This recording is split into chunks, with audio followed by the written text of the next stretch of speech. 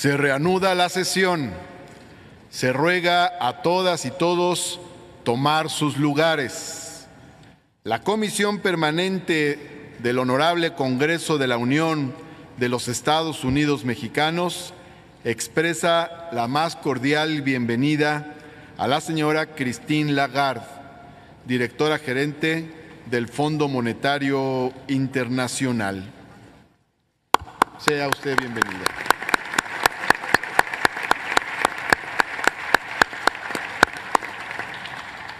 Asimismo, damos la bienvenida a la señora Serpil Bouza, asesora de la directora gerente, al señor Alejandro Werner, director del Departamento del Hemisferio Occidental, al señor Jerry Rice, director de comunicaciones, al señor Costas Cristo, jefe de misión para México, a la señora Ana Luna, jefa de Asuntos Públicos, a la señora Marjorie Enríquez, oficial de Asuntos Públicos, al señor Cuavena Aquamó Boateng, oficial de Comunicaciones, al señor Alfonso Guerra, alternado del director ejecutivo de México en el Fondo Internacional, y a la señora Andrea Arevalo, asesora del director ejecutivo de México en el Fondo Monetario Internacional. Destaco la presencia de las legisladoras y los legisladores que integramos la mesa directiva de la Comisión Permanente del Congreso de la Unión. Se encuentran presentes el vicepresidente y diputado del Grupo Parlamentario del Partido Acción Nacional, señor Elías Lisha Abimeri también el secretario y senador del Grupo Parlamentario del Partido Revolucionario Institucional, Manuel Añorbe Baños. El secretario y diputado del Grupo Parlamentario de Movimiento Ciudadano, señor Iscoalt Tonatiu Bravo Padilla. Asimismo, la secretaria y senadora del Grupo Parlamentario del Partido Encuentro Social, Sacil de León Villar. Nos acompaña además en la mesa la senadora Beatriz Paredes Rangel, que es la presidenta de la Comisión de Relaciones Exteriores de la Comisión Permanente del Congreso de la Unión.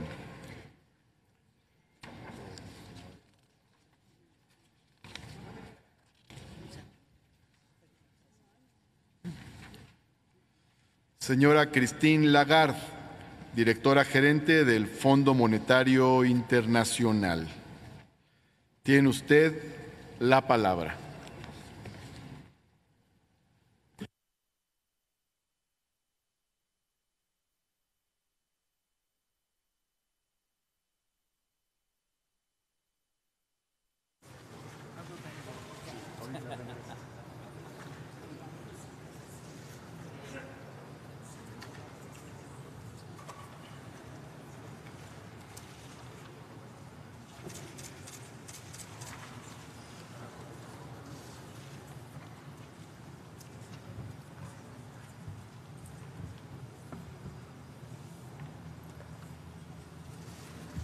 Gracias. Señor presidente. Muchísimas gracias. Muy bienvenida.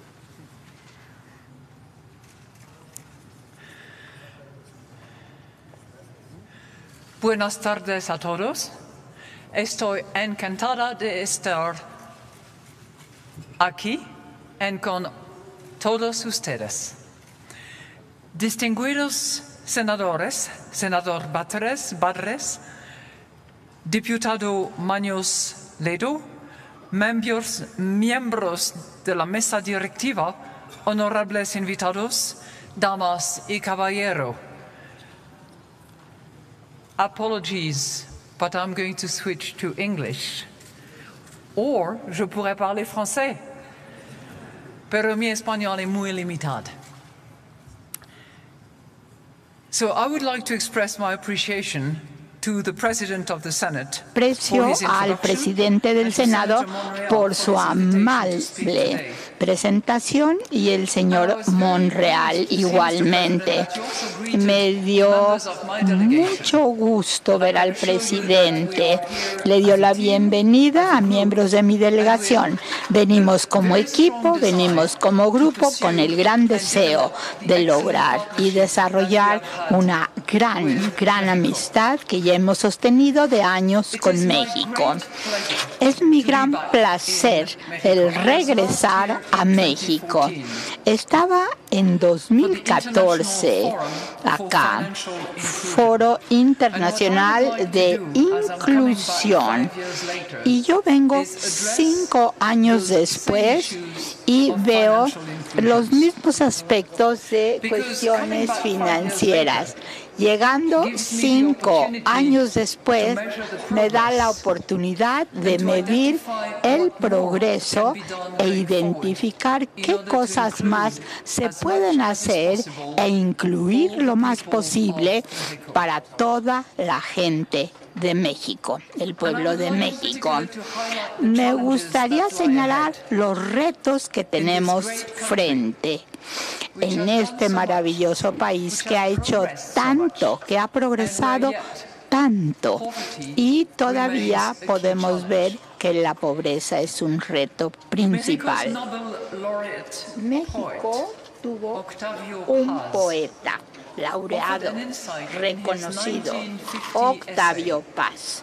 Y en un ensayo en 1950, El laberinto de la soledad, él escribe, Solitude, la realidad más profunda de la condición humana. And we, as humans, are the only and beings as como seres humanos somos los únicos que podemos sentir y resentir la soledad. Sabemos que podemos ver el aislamiento y lo podemos cambiar a través de amistad, amor y compañía de todos tipos. Pero hay una dimensión económica a esta soledad. Y la inclusión financiera es una forma de poder entrar y romper con este aislamiento.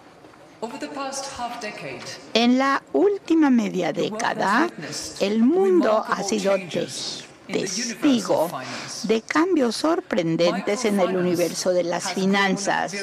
Las microfinanzas han creído rápidamente, enfocándose a las mujeres porque son las que mejor funcionan.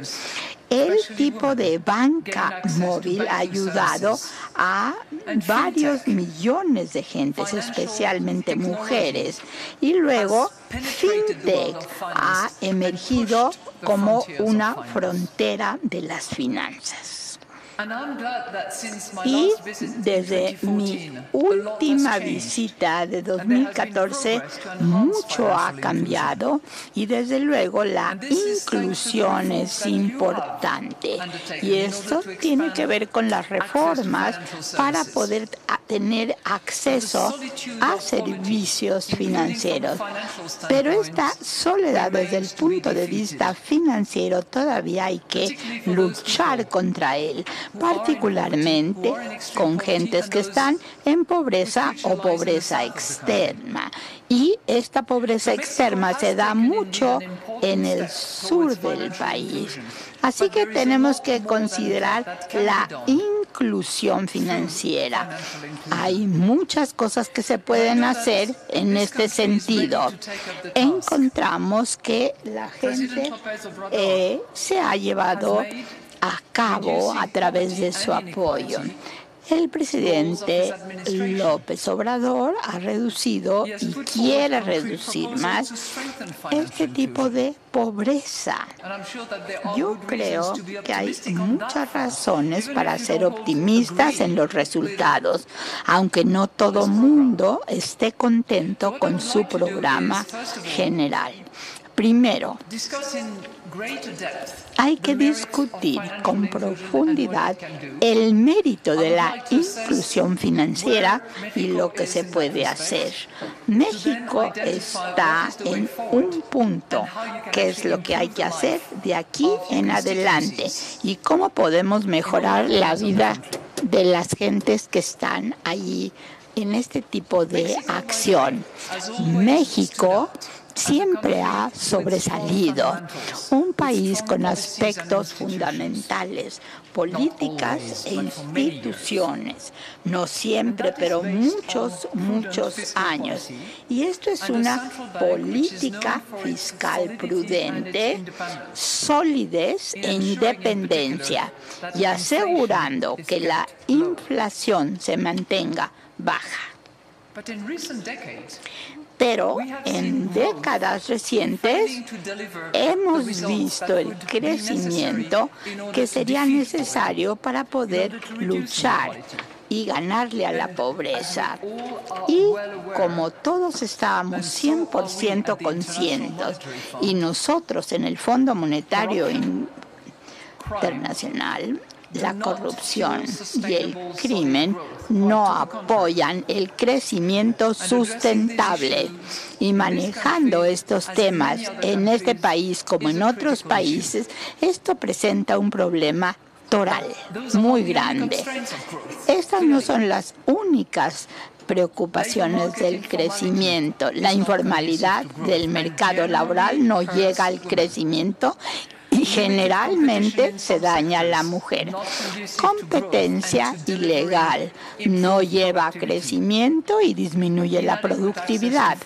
Acceso inadecuado a aspectos financieros y desde luego, por ejemplo, anchos de banda, internet que también conllevan al crecimiento. Y si no funciona, entonces produce restricciones y problemas. El crecimiento de este tipo de cifras más grandes es absolutamente necesario. Pero ¿qué tipo de crecimiento? Nuestra investigación en el Fondo Monetario Internacional indica que una gran cualidad puede reforzar el crecimiento. Lo puede hacer mucho más sustentable. Un crecimiento inclusivo crea oportunidades para tener una mejor vida, tanto para las familias como para las comunidades. Una de las ponencias dice que acceso a servicios financieros tienen un impacto en este aspecto de inclusión y crecimiento sustentable. Menciono la palabra mujer. Muchas veces lo voy a hacer porque en muchas sociedades hay metas importantes para esta inclusión y para tener un apalancamiento para la creatividad y los valores económicos. Pero el aspecto de género no es único en México, es general. Tenemos el acceso. Nosotros tenemos 1.7 millones de personas que no tienen acceso a finanzas. Desde 1.7 un mil millones comprenden mujeres.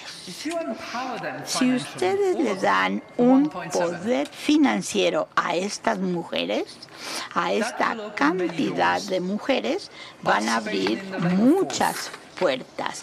Participación en el mundo laboral, pero resistiendo violencia asociado con el movimiento en efectivo. Aquí esta expansión requiere equilibrio, iniciativa del sector privado y el gobierno. Nosotros pensamos que el gobierno debe de hacer algo al respecto. proporcionar un entorno regulatorio que desarrolle competencia y crecimiento. Y también requiere una supervisión exhaustiva para evitar la falta de estabilidad. Lo que se puede hacer también es a través de los bancos comerciales instituciones financieras que pueden proporcionar diferentes aspectos de finanzas, diferentes oficinas y agencias que apoyan la economía llegando hasta los pueblos más lejanos, aunque en muchos países del mundo no están tan interesados en llegar a los pueblos. E juega un papel toral.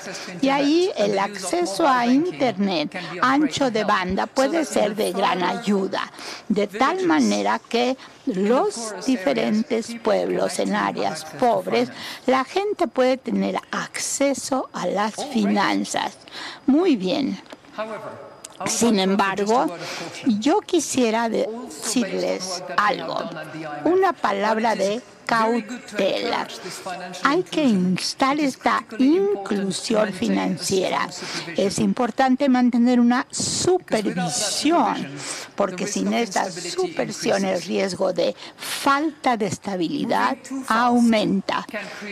El moverse rápidamente se crean estos datos y vemos nosotros que México en la década de los 90 aprendió esta lección y encontramos que se navega esta crisis financiera. Y vemos nosotros que finalmente debemos de tomar en consideración que tienen que ver competencia entre instituciones financieras y reformas económicas a la vez. El acceso a Internet, buena cobertura. Y ahí no tiene nada que ver con la banca si lo ven desde fuera, pero insta mayor trabajo en la banca y mayor inclusión financiera. ¿A dónde está México en su posición de aumentar esta inclusión? Muchas iniciativas se han llevado a cabo desde mi última visita.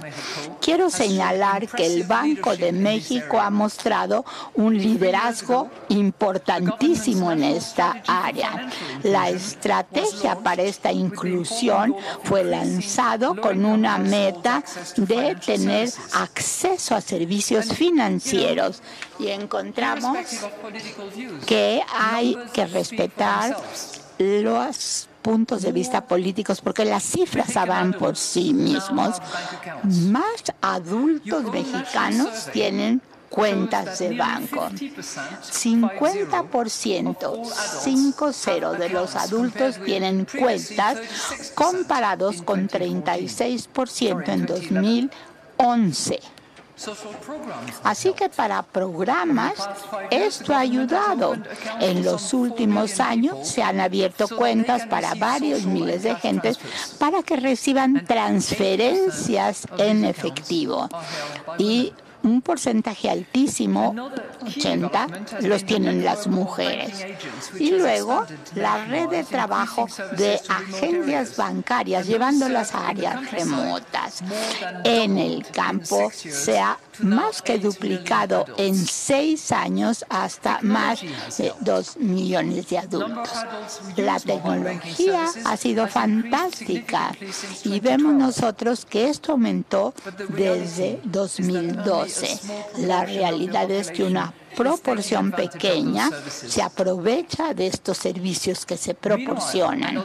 Entre tanto, un buen desarrollo profinanciamiento se ha expandido y vemos que las categorías de mujeres tienen mayores y mejores beneficios, simplemente porque son gente que sabe pedir y pagar de una manera diferente. Damas y caballeros, felicidades por el progreso que ha hecho su, su país. Se necesita mucho más que hacer en México para lograr los niveles para lo que se necesita. México tiene más de, digamos, mil cuentas bancarias, digamos, de adultos, datos tomados del año pasado. Y entonces, en la categoría a donde ustedes están, cada gente aumenta el número. Aquí tenemos 50% más del porcentaje. Y ha habido progreso llevando a la mujer al sistema financiero. Los mexicanos todavía eh, digamos, están un poco atrás de otros países latinoamericanos. Eh, vemos investigación. Movimientos se deben de realizar en áreas rurales y los municipios o tres cuartos de los municipios de México no tienen acceso a servicios financieros dentro de su ámbito de dos kilómetros. Y cuando se reemplaza el efectivo como un medio de pago, México está muy retrasado. 95% de las compras diarias se hacen utilizando efectivo. En contraste, varios miles de personas en China nunca usan efectivo, nunca. Entonces se les pregunta, ¿qué tiene de malo el efectivo? Frecuentemente está asociado el efectivo con la corrupción. Y estos son temas, aquí los bitcoins y otro tipo de divisas también no son fácilmente identificables. Son, digamos, los problemas que vemos nosotros con el efectivo. No se puede rastrear total anonimato y algo ideal para la corrupción. Así que aquí esta brecha podía beneficiar a muchos mexicanos. El crecimiento ha pues descendido en ocasiones un poco. Las políticas que pueden ser perseguidas, servicios financieros, entre otros, son una manera importante de lograr altos índices de crecimiento. Reformas importantes tienen, por ejemplo, un efecto en inclusiones, pero todavía se puede hacer mucho más. Con el presidente López Obrador discutimos para mantener la micro y macroestabilidad, creando un crecimiento inclusivo que beneficie a todos. Y las discusiones de la inclusión financiera me conllevó a pensar que tiene que haber mayor progreso para poder reducir la pobreza, reducir la falta de igualdad y tener un enfoque más transparente de una manera correcta. Yo estaba impresionado impresionada. Una iniciativa claramente puede mejorar este tipo de banco electrónico.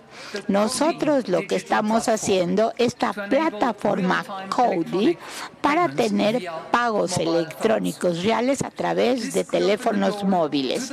Esto podría abrir la puerta al sistema financiero para miles de mexicanos.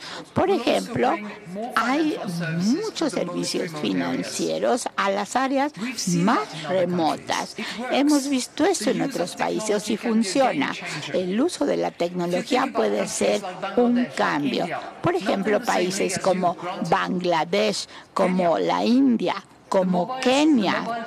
Encontramos el pago móvil en Kenia que se llama Embeta, trae 95% de la población a los servicios financieros. Este es un ejemplo mundial que ha sido documentado en toda la literatura de los economistas especializados en este campo. Otros ejemplos a donde podríamos tener este tipo de inclusión fondos de pensión, flexibilidad con las inversiones, puede mejorar los ahorros canalizados. En términos de hombres, se pueden expandir más y participar en el sistema financiero aún más. No hay que olvidar en manera alguna que las instituciones financieras en sí son una parte total en esta ecuación cuando consideramos este tipo de inclusión de moneda Eso sucede cuando hay competencia. Si hay, por otro lado, una meta concreta para dar servicio a los clientes, para provocar juegos de eficiencia, bajar los costos y los servicios financieros. Este tipo de procedimientos de la banca en línea recta va a ayudar, va a mejorar incentivos para expandir el crédito. Y esto desde luego es importante. La solvencia de la organización no se puede resolver rápido. Esta es una salida. El Congreso el año pasado dio un marco de trabajo exhaustivo para proteger la estabilidad. Esto en el Fondo Monetario Internacional se hizo aprobado por la agenda de Bali. Todos los principios que se deben de respetar para las diferentes tecnologías financieras. México está entre los países latinoamericanos aumentando el uso de tecnologías y en el uso de servicios financieros. Tenemos un sector de jóvenes denominados startups iniciadores en México. La evidencia y la eficiencia de estos servicios como jóvenes para atraer las diferentes actividades y el dinero que se envía a México por parte de personas viviendo en el extranjero. Microfinanzas, pagos, remesas, todo esto es importante, innovaciones importantísimas que deben de ser apoyadas. Y todo esto se hace gracias a la tecnología. Supervisión correcta, estabilidad, confiabilidad y acceso por parte de supervisores para que el uso de tecnología no sea una receta para una gobernabilidad pobre. No, que ver eh, los aspectos de Quintec y vamos a dar apoyo total. Técnicos, expertos en los aspectos regulatorios en estas tecnologías innovadoras. Pueden transformar la forma en que la gente paga en efectivo, se hacen transacciones y agentes económicos en el país haciendo lo correcto tiempo y reto. Eso es útil para México. Un entorno de crecimiento, prospectos de crecimiento, el progreso de acuerdo al conocimiento debe de progresar y crecer. Pero la pobreza sigue siendo un obstáculo gigante. Hay muy buenas ideas, muy buenas iniciativas. Hay el optimismo que vamos a aumentar las inclusiones financieras, que vamos a poder ofrecer a otros países experimentos, poder analítico para poder lograr el objetivo deseado. Su país, el divino México, es un país de larga historia, tradiciones, talento, trabajo, aspiración para el futuro. El camino para lograr ese futuro debe de comenzar abriendo esta inclusión, compartiendo el sueño con toda la gente. En 2014 yo estuve encantada de conocer la casa de la señora Frida Kahlo leí mucho acerca de ella y yo sé que una vez ella dijo algo. Se lo voy a decir en español. Al final del día podemos aguantar mucho más de lo que pensamos que podemos. Y yo creo que Frida Kahlo tenía razón. Podemos abrazar este principio. No hay tantos obstáculos y no hay tantas montañas que no resistan la unión y el trabajo unido. Pero haciendo esto, el sitio financiero de la soledad y la pobreza debe de ser resuelto y eh, debemos de trabajar en sociedad con ustedes tal como lo hicieron. Muchas gracias.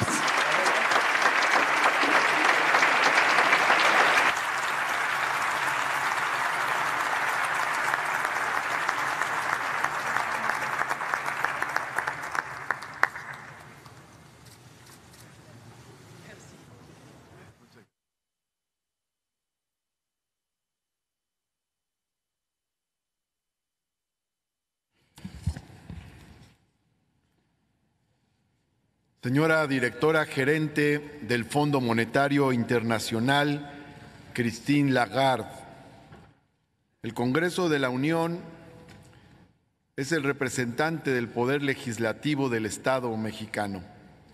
Es un órgano plural formado por ocho grupos parlamentarios distintos. El Partido de la Revolución Democrática, el Partido Encuentro Social, el Partido del Trabajo, el Partido Verde Ecologista de México, Movimiento Ciudadano, el Partido Revolucionario Institucional, el Partido Acción Nacional y Morena, el Movimiento de Regeneración Nacional. En este marco plural, su visita ha causado una gran expectación. Ahora mismo nos acompañan diversas personalidades de la comunidad financiera mexicana, a quienes doy la bienvenida a este recinto. En estos días, la Cámara de Diputados está iniciando el debate del Plan Nacional de Desarrollo. Igualmente, las y los senadores de la República tenemos entre nuestros pendientes el análisis, discusión y ratificación, en su caso, del nuevo tratado comercial entre México, Estados Unidos de América y Canadá, conocido ahora como TEMEC. Usted ha señalado recientemente que el crecimiento económico mundial se ha vuelto más desigual y que elegir la política correcta reviste una importancia crítica para cada una de las economías la economía mundial y los habitantes de todo el mundo. Coincidimos. Nos anima que usted haya llevado al Fondo Monetario Internacional la convicción de que su misión depende en gran medida de su calidad de comunicación, de convencer a los gobiernos, porque el problema es que los expertos en economía del fondo solían solo hablar entre ellos. Igualmente, usted ha abogado por revertir las políticas fiscales procíclicas y actuar contracíclicamente, recordando que en épocas difíciles y con el objeto de evitar la recesión, el gasto público compense las caídas temporales en la demanda privada. Para esto es indispensable contar con ahorros y evitar la tentación de aumentar impuestos. Usted también, por cierto, recomendó eliminar los obstáculos jurídicos que impidan la participación de la mujer en la economía, porque esta medida es fundamental para abordar los niveles elevados y persistentes de desigualdad y realzaría el potencial de crecimiento de todos los países. Tomamos en cuenta sus reflexiones y palabras.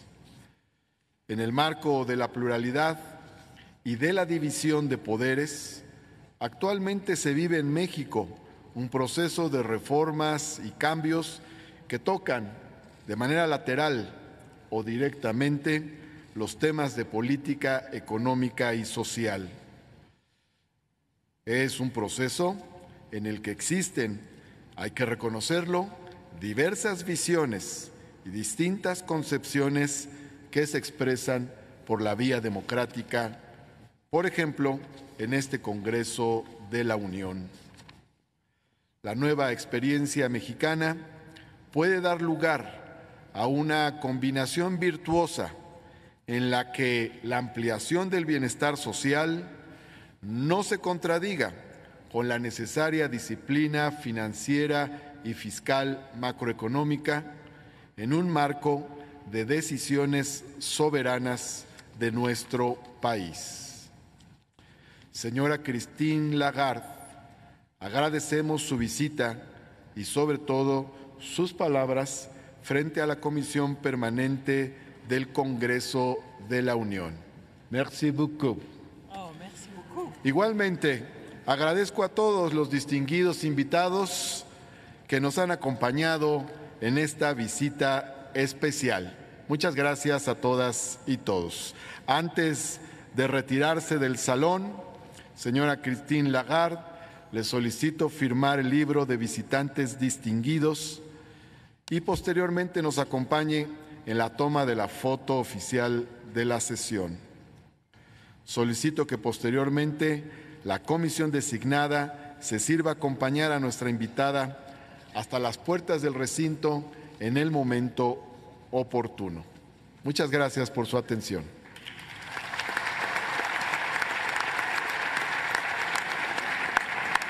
Muchas, muchísimas gracias. Merci à vous. Au revoir. Au revoir.